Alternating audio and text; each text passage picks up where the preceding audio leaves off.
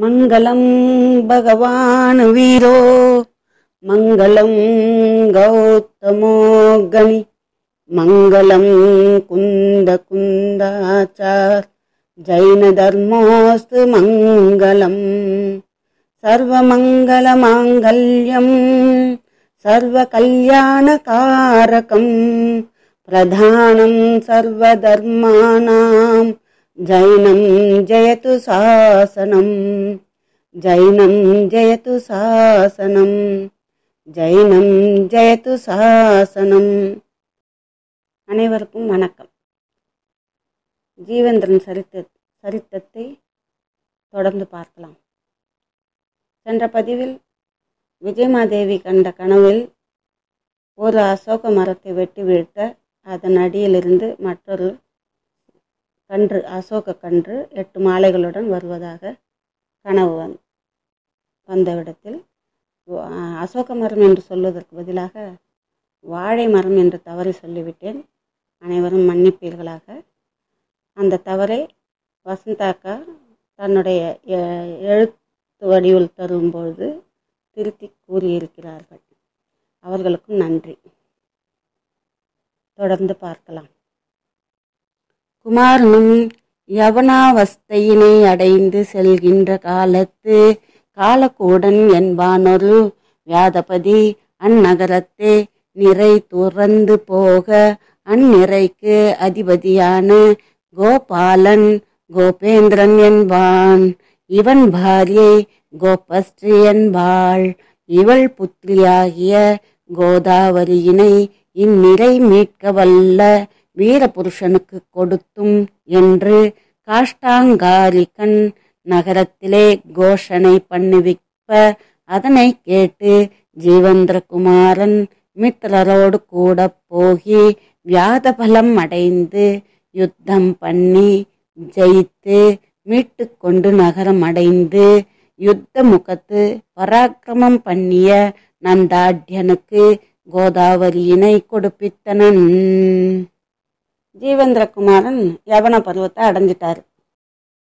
அப்போது அந்த நகரத்தில் காலக்கூடன் அப்படிங்கிற வேட்டுவ தலைவன் வேடர்களோட தலைவன் அந்த நகரத்தில் இருக்கிற ஆடு மாடுகளை எல்லாம் ஓட்டிக்கிட்டு போயிட்டான். பசுக்களை ஓட்டிக்கிட்டு போயிடுறான். அந்த பசுக்களோட சொந்தக்காரன் கோபேந்திரன். அவனோட மனைவி பேர் கோபஸ்ரீ. அவங்களுக்கு கோதாவரின்னு ஒரு மகள் இருக்காங்க. இந்த பசுக்களை மீட்டுன்னு வர வீர மகனுக்கு தான் கோதாவரியை திருமணம் செஞ்சு கொடுப்போம் அப்படின்னு காஷ்டாங்காரிகன் நகரத்தில் இந்த பறை சாட்டுறாங்க. தண்டோரா போடுவாங்க. இல்லை அது மாதிரி தண்டோரா போடுறாங்க. இதை கேட்டுட்டு ஜீவேந்திரகுமாரன் தன்னோட நண்பர்களோட போய் அந்த வேடுவர்களோட சண்டை போட்டு ஜெயிச்சு அந்த பசுக்களை மீட்டிக்கிட்டு நகரம் வந்து சேர்றாரு. போர்க்களத்தில் தன்னோட வல்லமையை காட்டின தன்னோட தம்பி நந்தாட்யனுக்கு கோதாவரி திருமணம் செஞ்சு வைக்க சொல்லி திருமணம் பண்ணி கொடுக்குறாரு. இப்பால் ஜம்பூத்வீப பரதக்ஷேத்திரத்து விஜயார்த்த பர்வத தட்சிண ஸ்ரேணியில் ககன வல்லப நகராதிபதி க- கருடவேகன் என்னும் வித்யாதரன் தாயாதியாயினான் ஒருவனாள் பராஜிதனாகி போந்து ரத்னத்வீபத்து மனுஜோதயம் என்னும் பர்வதத்து ரமணீயம் என்பதொரு நகரம் பண்ணுவித்திருந்தனன் இவன் பாரியை தாரிணி என்பாள். இவர்கட்கு புத்ரி கந்தர்வதத்தை என்பாள். இவள் ஒரு நாள் உபவாச விதியினால் நோற்று முடிவின் கண் ஜனபதி பூஜை பண்ணி திவ்யசேஷை கொடு வந்து ராஜாவுக்கு கொடுப்ப அவனும் அதனை வாங்கி சிரசா வகித்து உபவாச பரிசிராந்தையாகிய புத்திரியை பாரணை பண்ணுவாயாக என்று விடுத்த பின் பெண் பிள்ளையை யாவர்க்கு கொடுத்தும் என்று மதிசாகரனை வினவ அவனும் சொல்லுவான். ஜன் ஜம்பு தீபத்தில் பரத கஷேத்திரத்தில் விஜயார்த்த பர்வதத்தோட தெற்கு மலைத்தொடரில் கருட வல்லப நகராதிபதியான கருடவேகன் அப்படிங்கிற ஒரு வித்யாதரன். அவரை அவரோட தாயாரி தோக்கடிச்சதால அவரோட ரத்ன தீபத்தில் மனுஜோதயம்ன்ற மலையில் ரமணீயம்ன்ற ஒரு நகரை நிர்மாணித்து அங்கே தங்கி இருக்கிறாரு அவரோட மனைவி பேர் தாரணி. இவங்களுக்கு கந்தர்வ தத்தைன்னு ஒரு பொண்ணு இருக்காங்க. அவங்க ஒரு நாள் உபவாச விதியில் நோன்பு நோற்று பூ ஜனபதி பூஜை செஞ்சுட்டு அந்த பிரசாதத்தை மன்னனுக்கு எடுத்துன்னு வந்து கொடுக்குறாங்க. அதை வாங்கி பக்தியோடு எடுத்துக்கிட்டு உபவாசத்தால் களைப்பாக இருக்கிற மகளை பார்த்து நீ போய் பாரணை செய்வாயாக என்று சொல்லி அனுப்புகிறாங்க அதன் பிறகு பக்கத்தில் இருக்கிற மதிசாகரனை பார்த்து என்னோட மகளை யாருக்கு கல்யாணம் பண்ணி கொடுக்கறது? அப்படின்னு கேட்குறாரு மந்திரியும் பதில் சொல்கிறாரு ஒரு நாள் மகாமேரு பர்வத நன் நந்தனவனத்து பூர்வ திக் ஜினபவனம் அடைந்து பிரதட்சணீகரண பிரணாம ஸ்தவனாபிய ஸ்தவனாபிய அர்ச்சனம் பண்ணிய பின் அங்கே சந்நிகத்தராகிய விபுலமதி சாரண தபோதனரை நமஸ்கரித்து தர்மஸ்ரவணானந்தரம் என் சுவாமி புத்திரியாகிய கந்தர்வதத்தை யாவர்க்கு யோகியை என்று வினவ அவரும் அவதி ஞானத்தால் பார்த்து அருளி செய்வார். அரசே ஒரு நாள் நான் மகாமேர் பர்வதத்தில் ஒரு தோட்டத்தில் இருக்கிற ஒரு ஜினபவனத்தில் போய் அங்கே வலம் வந்து துதித்து ஸ்தவனம் பண்ணி பூஜனையும் பண்ண பிறகு அங்கே இருந்த விபுலமதி சாரணம் தவமுனிவரை வணங்கி உபதேசம் கேட்ட பிறகு தர்ம உபதேசம் கேட்ட பிறகு என்னோட தலைவனோட மகளாகிய கந்தர்வதத்தைக்கு தகுதியானவர் கணவனாக வர தகுதியானவர் யார் அப்படின்னு நான் கேட்டேன். அதுக்கு தபோதனர் அவதி ஞானத்தால் பார்த்து சொன்னார். ஜம் ஜம்பு த்வீப பரதக்ஷேத்திர ஹேமாங்கத விஷய ராஜமகாநகரத்து சத்யேந்திர மகாராஜ புத்திரனுக்கு வீணா ஸ்வயம் வரத்தால் தேவியாகும் என்று அருளிச் செய்தனர். என்று மந்திரி சொல்ல கேட்டு ராஜாவும் பூதலத்துள்ளாருடன் அபூர்வமாகிய சம்பந்தத்தினை யாங்கனம் செய்தும் என்று வினவ மந்திரி சொல்லுவான். ஜம்புத்வீப பரத கஷேத்திரத்தில் ஏமாங்கத நாட்டில் ராஜமாபுரத்தில் சத்யேந்திர மன்னனோட மகனுக்கு வீணா சுயம்புரத்தால் மனைவி ஆவாள் அப்படின்னு சொன்னார். அப்படின்னு மந்திரி ராஜா கிட்ட சொல்ல பூவுலக மக்களோட எப்படி நம்ம சம்பந்தத்தை செய்யறது அப்படின்னு மந்திரி கிட்ட ராஜா கேட்குறாரு அதுக்கு மந்திரி பதில் சொல்கிறாரு ராஜமகாபுரத்து ரிஷப தத்த சிரேஷ்டியனுக்கும் பத்மாவதிக்கும் புத்திரன் ஜினதத்தன் என்பான்.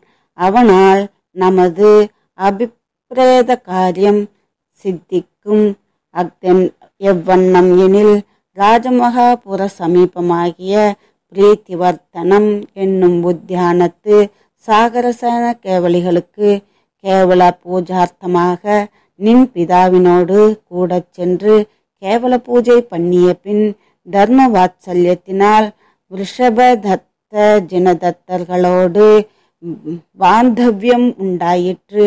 அதற்பின் ரிஷபதத்தன் புத்திரனுக்கு சிரேஷ்டி பதம் கொடுத்து குணபால முனி சமீபத்தே தீட்சித்தனன். பத்மாவதியும் சுவிருதை என்னும் ஆர்யாங்கனை பக்கல் தீட்சித்தனல்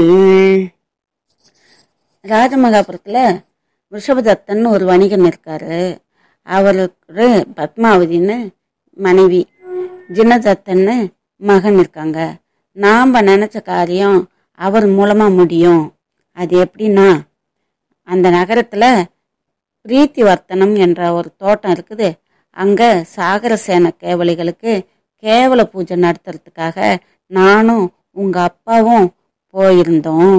அந்த பூஜையெல்லாம் செய்த பிறகு தர்மத்தில் இருக்கிற பற்று காரணமாக ரிஷபதத்தனும் ஜினதத்தனும் எங்களோட நட்புரிமை நட்பு ஏற்படுத்திக்கிட்டாங்க. அதன் பின்னால் ரிஷபதத்தன் தன்னோட மகனுக்கு வணிக தலைமை பதவியை கொடுத்துட்டு குணபால முனிவர்கிட்ட தீட்சை வாங்கிக்கிட்டாரு. அவரோட மனைவி பத்மாவதியும் சூரதைன்ற ஆரியாங்கனையிடம் தீட்சை வாங்கிக்கிட்டாங்க. சிரேஷ்டிபத பிராப்தனாகிய ஜினதத்தனும் வாணிஜ்யார்த்தமாக ஜல யாத்திரையில் இங்கு வருவன் என கேட்டு ராஜாவும் அவனை உபாயத்தால் கொடு வருவதற்கு பலாதிகன் என்னும் வித்யாதரனை ஏவ அவனும் ஸ்வவித்யால் மரக்கலம் உடைந்ததாக காட்டிய பின் ஜினதத்தனும் ஒரு பலகை அவலம்பனமாக போந்து சமுத்திரத்துள் ஒரு கரையினை அடைந்த பின் பலாதி கண்ணுடன் சென்று வினயபூர்வகமாக ராஜசமீபம் அடைந்த பின் மாயையால் உடைவித்த மரக்கலத்தை காட்டி மிகவும் சம்பிரீத்தனாகிய ஜனதத்தனுக்கு பூர்வ விருத்தாந்தத்தினை அறிவித்து கந்தர்வ தத்தையை கொடு போகி ராஜமகாபுரத்து வீணா ஸ்வயம்பர கல்யாண விதியால் கொடுப்பாயாக என்று பெண் பிள்ளையை கொடுப்ப அவனும் கொண்டு போகி தன் நகரம் அடைந்த பின் காஷ்டாங்காரியனுக்கு ஸ்வயம்பர விருத்தாந்தத்தினை அறிவித்து சுப திவசத்து ஜனபதி பூஜா புரஸ்ரமாக ஸ்வயம்பர கோஷனை பண்ணிய பின் மனோகர உத்தியானத்து ஸ்வயம்பர மண்டபத்து சமுத்தித்தராகிய திரைவர்ணிகரும் கந்தர்வ தத்தைக்கு வீணையில் தோற்ற பின் ஜீவந்திர குமாரன் மித்திரரோடும் கூட ஸ்வயம்பர மண்டபம் அடைந்த பின் இவனுக்கு வீணைகள் பலவும் கொடுப்ப அவற்றுள் நரம்பு முதலானவற்றுள் ரோமம் முதலான தோஷங்களை காட்டி வித்யாதர குலத்துட் பரம்பரையால் வருகின்ற சுகோஷனை என்னும் வீணையை தருக என்று வாங்கிக் கொண்டு மதுரமாக வாசித்த பின் வீணையில் தோற்ற கந்தர்வதத்தை ஜீவந்திர குமாரன் மிசைமாலையிட்டனள் வணிக தலைமை கிடைச்ச பிறகு ஜினதத்தன் வாணிபம் செய்யறதுக்காக ஜல யாத்திரையா இங்க வருவான் அப்படின்னு மந்திரி சொல்கிறாரு இதை கேட்டு ர- அரசன் என்ன சொல்கிறாரு ஏதாவது ஒரு உபாயத்தால் அவனை இங்கே கூட்டிட்டு வா அப்படின்னு சொல்லிட்டு பலாதிக்கன்ற ஒரு வித்யாதரனுக்கு கட்டளையிடுறாரு. அந்த வித்யாதரனும் தன்னோட வித்தையால் மரக்கலம் உடஞ்ச மாதிரி பண்ணுறாரு உடனே ஜனதத்தன் ஒரு பலகையை அவலம்பனமாக போந்து பலகையை அவலம்பனம்னா பிடிச்சிக்கிட்டு பல பலகையை பிடிச்சிக்கிட்டு அது உதவியால் கரையை அடைகிறார். கரையை அடைஞ்ச பிறகு அங்கே இருக்கிற பலாதிக்கனோட போயிட்டு அரசனை பார்த்து பணிந்து பணிந்து நிற்கிறார் அப்போ அந்த பலாதிக்கன் சொல்கிறாரு நான் தான் மாயையால் உன்னோட மரக்கலத்தை உடச்சிட்டேன் அப்படின்னு சொல்லிட்டு ஜனதத்தனுக்கு நடந்த கதையெல்லாம் சொல்கிறாரு விருத்தாந்தத்தை எல்லாத்தையும் சொல்கிறாரு எதுக்காகன்னு? கந்தர்வத்தைய கொண்டு போய் ராஜமாபுரத்தில் வீண சுயமரம் நடத்தி அவள் திருமணம் பண்ணி வை அப்படின்றதுக்காக தான் உன்னை இங்கே கூப்பிட்டுன்னு வர்றதுக்கு இந்த மாதிரி பண்ண அப்படின்னு சொல்லி ராஜ கந்தர்வதத்தையை அவங்கக்கிட்ட ஒப்படைக்கிறாங்க. அவனும் கந்தர்வதத்தை கூட்டின்னு தன்னோட நகரம் வந்து சேர்றான். அங்கே வந்து காஷ்டாங்காரிகனுக்கு சொ- அந்த விஷயத்த சொல்லிட்டு ஒரு நல்ல நாளில் ஜனபதி பூஜையெல்லாம் செஞ்சுட்டு சுயம்பர கோஷணையை பண்ணுறாங்க மன் மனோகர நந்தன உத்தியானத்தில் சுயம்பர மண்டபம் வைக்கிறாங்க. அந்த இடத்துல திரைவர்ணிக்கரும் மூன்று வர்ணத்தாரும் வந்து கந்தர்வதத்தையோட வீணைய போட்டியில் தோ தோத்து போயிடுறாங்க. அதுக்கு பிறகு ஜீவேந்திரகுமாரன் தன்னோட நண்பர்களோட வந்து சுயம்புர மண்டபத்தில் சேர்றாரு. அவருக்கு பல வீணைகளை எடுத்துன்னு வந்து கொடுக்குறாங்க போட்டிக்காக. அவர் எல்லாத்தையும் டெஸ்ட் பண்ணுறாரு ஆராய்ச்சி பண்ணி இதில் நரம்பு சரியில்லை இந்த நரம்பில் முடி இருக்குது ரோமம் இருக்குது அப்படின்னு ஒவ்வொரு குறையாக சொல்லி தோஷமாக சொல்லி எல்லாத்தையும் விளக்கிட்டு வித்யாதர குலத்தில் பரம்பரை பரம்பரையாக வர்ற சுகோஷணைன்ற வீணை இருந்தால் எடுத்துன்னு வந்து கொடுங்க அப்படின்னு சொல்லி கேட்குறாரு அந்த வீணையை கொண்டு வந்து கொடுத்த பிறகு அதை வாங்கி அவ்வளோ மதுரமாக வாசிக்கிறார். அந்த வாசிப்பில் கந்தர்வதத்தை தோற்று போயிடுறாங்க. அதனால் கந்தரோதத்தை ஜீ ஜீவேந்திரகுமாரனுக்கு திருமண மாலை சூட்டுறாங்க. அதனை கண்டு காலாங்காரிக்கன் முதலிய ராஜகுமாரர்கள் மானராகி யுத்த சன்னத்தராகிய பின் ஜீவந்திரகுமாரன் ஜெயகிரி என்னும் மதஹஸ்தியின் ஏரி ஏறி மித்திரரோடும் பலாதிக்க வித்யாதரரோடும் சென்று யுத்தம் பண்ணி ஜெயித்த பின் கந்தர்வ தத்தையை கல்யாண விதியால் விவாகம் பண்ணி இஷ்ட விஷய காமபோகங்களை அனுபவித்து செல்லா நின்ற காலத்து ஒரு நாள் வசந்த காலத்து நகர ஜனங்கள் வசந்த வினோதார்த்தமாக சுரமலயம் என்னும் உத்தியானம் அடைந்து வசந்தோத்சவம் அனுபவித்திருப்ப அந்நகரத்து வைஸ்ரவண தத்தன் என்னும் வைஷ்யனுக்கும் சுதமஞ்சரி என்னும் பாரியைக்கும் புத்ரி சுரமஞ்சரி என்பாள். குமாரதத்தன் என்னும் வைசியனுக்கும் விமலைக்கும் புத்ரி குணமாலை என்பாள். கந்தர்வதத்த ஜீவந்திரகுமாரனுக்கு மாலை இட்ட சுயம்பர மாலை இட்டதும் காலங்காரிக்கன் முதலிய ராஜகுமாரர்களுக்கெல்லாம் சகிக்க முடியல. அசகமானராகி சகிக்க முடியாம யுத்தம் செய்கிறாங்க ஜீவேந்திரகுமாரன் ஜெயகிரி அப்படிங்கிற மத யானை மலை ஏறி தன்னோட நண்பர்களோடவும் அந்த பலாதிக்கன்ற வித்யாதரரோடவும் போயிட்டு யுத்தம் பண்ணுறாரு யுத்தத்தில் அவர் ஜெயிச்சிடுறாரு அதனால் கந்தர்வதத்தையே கல்யாண விதியால் விவாகம் பண்ணி சந்தோஷமாக வாழ்கிறாங்க அப்படி இரு- இருக்கும்போது ஒரு நாள் வசந்த காலத்துல நகர ஜனங்க வசந்த விழா காரணமா சுரமலயம்ன்ற உத்தியானத்துக்கு போறாங்க. அங்க வசந்தோத்சவம் பண்ணும்போது அந்த நகரத்துல வைஸ்ரண வைஸ்ரண தத்தன் என்னும் வைசனுக்கும் சுதமஞ்சலி அப்படிங்கிற அவனோட மனைவிக்கும் புத்திரி சுரமஞ்சலி என்பார். குமாரதத்தனுக்கும் குமாரதத்தன்ற வைசனுக்கும் விமலைக்கும் புத்திரி குணமாலை என்பார். இவர்கள் இருவ கன்னிகைகளும் வசந்த கிரீடை பண்ணி தமது சூரணம் காட்டி அதனில் இது நன்று என்று பரஸ்பர விவாதம் உண்டானவிடத்து சுரமஞ்சரி சந்திரோதயம் என்னும் தனது சூர்ணத்தை சியாமலத்தை சியாமலத்தை என்னும் தனது சேடிகையிலும் குணமாலை சூரியோதயம் என்னும் தனது சூர்ணத்தை வித்துல்லத்தை என்னும் தனது சேடி கையிலும் கொடுத்து கந்த யுக்தி நிபுணராயினாருக்கு காட்டிக் கொடுவருக என்று விடுப்ப அவர்களும் போகி பலரையும் கேட்க பலரும் தர்ஷன ஸ்பர்ஷன கந்தங்களால் பார்த்து சந்திரோதயத்தை ஸ்துதிப்பாரும் சூரியோதயத்தை பிரசம்சிப்பாரும் சமானம் என்பாரும் ஜீவககுமாரனே அறிவன் என்பாருமாயின பின் ஜீவந்திர குமாரனுக்கு காட்ட அவனும் சந்திரோதயத்தை அழகிது என்று சொல்லி அவர்களுக்கேற யுக்தியினால் காட்டுவான் வேண்டி அவ்விரண்டையும் வாங்கி ஆகாசத்து வீச அவற்றுள் சந்திரோதயத்தை வண்டுகள் சூழ்ந்து கொண்டன. இவ்வண்ணம் யுக்தியினால் கந்தாதிசயத்தை அறிவித்த பின் சுரமஞ்சரி குணமாலைகள் பரஸ்பரம் மாத்தரியத்து நீங்கினர் ரெண்டு பொண்ணுங்களும் வசந்த கிரீடை சே- பண்ணும்போது அவங்க அவங்கவுங்களோட வாசனை பொடியை காமிச்சு எந்த தான் நல்லா இருக்கு எந்த தான் நல்லா இருக்கு அப்படின்னு வாதம் வந்துடுது அவங்களுக்கு. எது ரொம்ப நல்ல பொடி? அப்படிங்கிறதுல வாதம் வந்துடுது. அப்போது சுரமஞ்சலியோட பொடி பேர் சந்திரோதயம் குணமாலையோட பொடி பேர் சூரியோதயம்.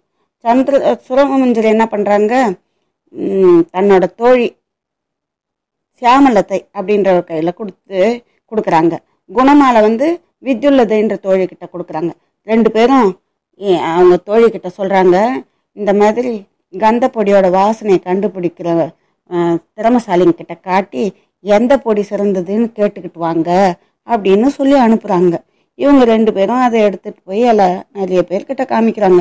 அதை பார்த்து தொட்டு பார்த்து மோந்து பார்த்து ஒவ்வொருத்தரா நிறைய பேர் என்ன சொல்கிறாங்க சிலர் வந்து சந்திரோதயம் தான் நல்லா இருக்கு அப்படின்னு சொல்கிறாங்க சிலர் வந்து சூரியோதயத்தை புகழறாங்க இன்னும் சிலர் ரெண்டுமே நல்லா தானே இருக்குது ரெண்டும் சமமாக இருக்குது அப்படிங்கிறாங்க.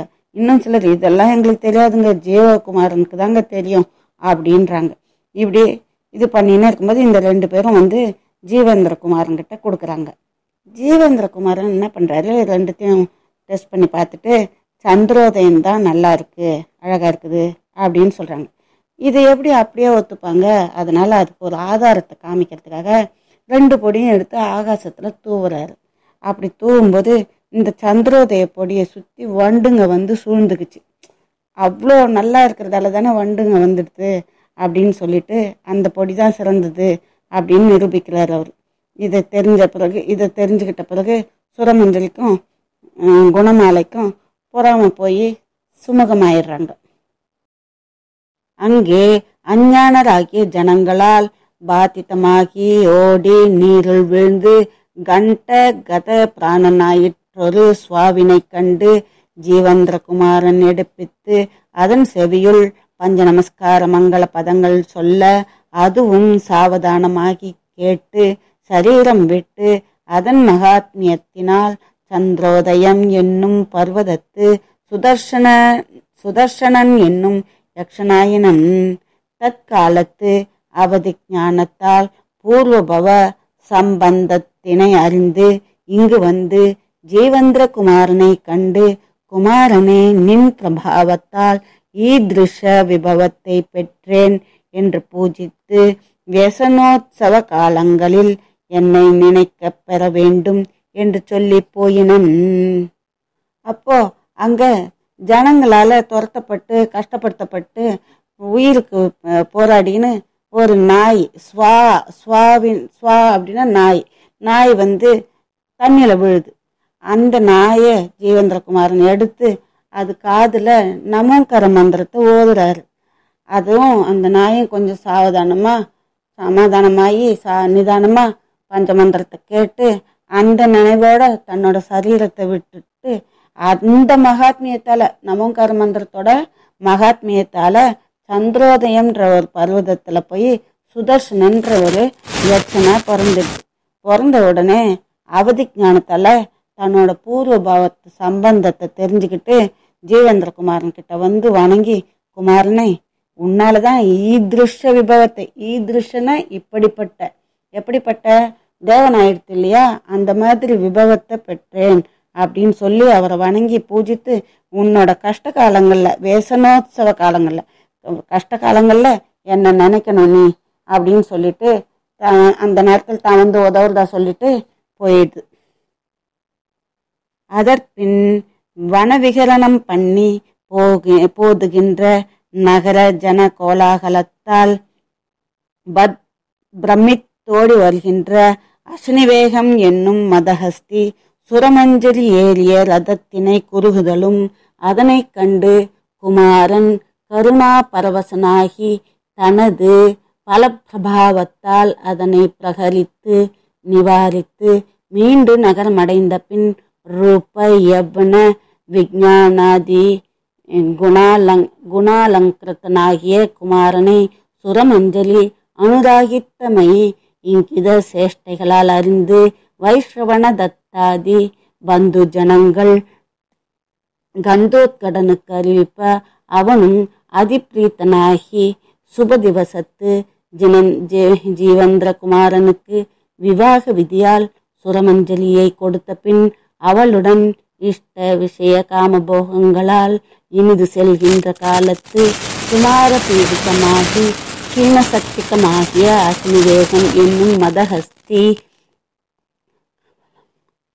கபலம் கொள்ளாது நின்றமை அறிந்து காஷ்டாங்காரிகன் மிகவும் கோபித்து வைஷோச்சிதமாகிய வாணிஜ்ய வியாபாரமன்றி ராஜபுத்திரானுரூபமாகிய ரூபமாக ஆச்சரிக்கின்ற கர்வித்தன் ஆகிய சிரேஷ்டி புத்திரனை லோகாந்திரம் அடைவிக்க என்று சண்ட தண்டன் என்னும் தலவரனை நியோகிக்க அவனும் தத்ர பலசகித்தனாகிச் சென்று குறுக அதனை அறிந்து குமாரன் புறப்பட்டு யுத்தம் பண்ணி சண்ட தண்ட பலத்தை எல்லாம் பங்கம் பண்ணி காஷ்டாங்காரிகன் சந்நிகத்தனாகின்றிலன்.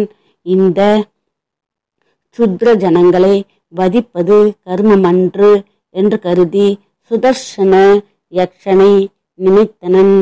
அவனும் தட்சணத்திலே வந்து விஜயகிரி என்னும் மதஹஸ்தியில் ஏற்றி கொண்டு போகி தனதிடமடைந்தனன்.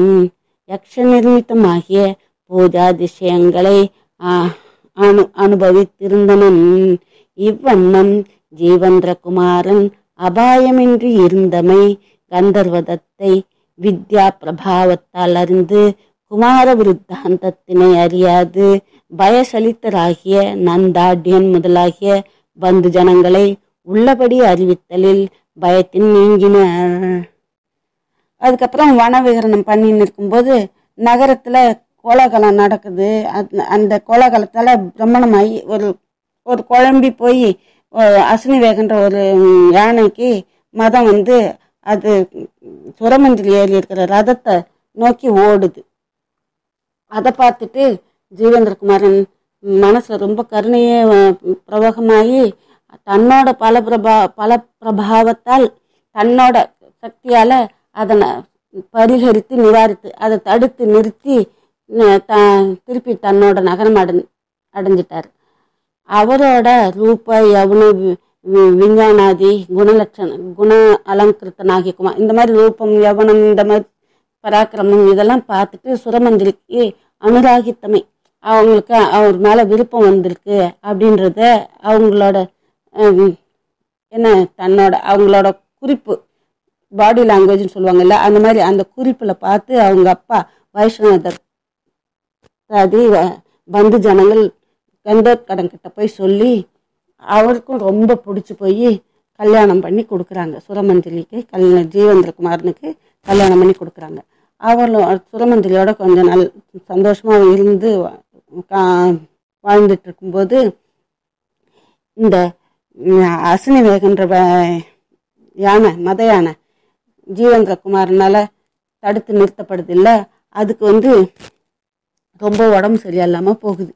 ஆகாரம் சாப்பிட மாட்டேங்குது. இதெல்லாம் பார்த்துட்டு காஷ்டாங்காரகனுக்கு ரொம்ப கோபம் வந்துடுது. என்ன ஒரு வைசியம் இவன் வேலை என்ன? வாணிபம் தானே செய்யணும். அதை விட்டுட்டு ராஜகுமாரர்கள்லாம் பண்ணுற மாதிரி இந்த இந்த போர் வேலைக்கெல்லாம் எதுக்கு வருது யானை இந்த மாதிரி பண்ணியிருக்கிறானே. அதனால இவனை கொண்டு போய் ச- சண்டை தண்டன்ற ஒரு தளபதி கிட்ட இவனை போய் லோகாந்திரம் அடைவிக்க. அவனை மரண அவனுக்கு மரணம் ஏற்படுத்து அப்படின்னு சொல்லிட்டு தலைவரனை தளபதி கிட்ட சொல்லி அனுப்புறாங்க. அந்த தளபதி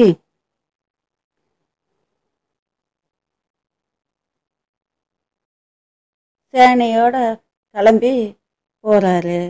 அவர்கிட்ட போயிட்டு ஜீவேந்திரன் போர் புரிகிறாரு சேனை அண்டதண்டனோட சேனையை அழிச்சிட்டாரு. ஆனால் காஷ்டாங்காரிகம் இங்கே இல்லை. இந்த பாமர மக்களை நம்ம கொல்லக்கூடாது. அப்படின்னு நினச்சி சுதர்சனன்ற யட்சனை நினைக்கிறாரு. அந்த எட்டன் உடனே அங்கே வந்து குமாரனை விஜயகிரின்ற ம், மத யானை மேலே ஏற்றி தன்னோட இடத்துக்கு அழைச்சிக்கிட்டு போயிட்டாரு. ஜீவேந்திரகுமாரன் எற்றர்கள் யட்சர்கள் கொடுத்த உபசாரம்லாம் கே அனுபவிச்சுன்னு நல்லா இருக்கிறாரு. எந்த ஒரு ஆபத்தும் இல்லாமல் இருக்கிறாரு. இதை கந்தர்வதத்தை தன்னோட வித்தையால் கண்டுபிடிச்சிடுறாங்க. கண்டுபிடிச்சு நந்தாடியன் முதலிய உறவினர்கள்லாம் ஜீவேந்திரனோட தம்பி மற்ற உறவினர் பயந்துக்கிட்டு இருக்கிறவங்கிட்ட ஜீவேந்திரகுமாரன் யட்சர்களோட எந்த ஆபத்தும் இல்லாமல் இருக்கிறான் அப்படின்னு சொல்கிறாங்க இதோட இந்த பதிவை இன்னைக்கு முடிச்சுக்கலாம். மேற்கொண்டு அடுத்த பதிவில் பார்க்கலாம். அனைவருக்கும் நன்றி வணக்கம்.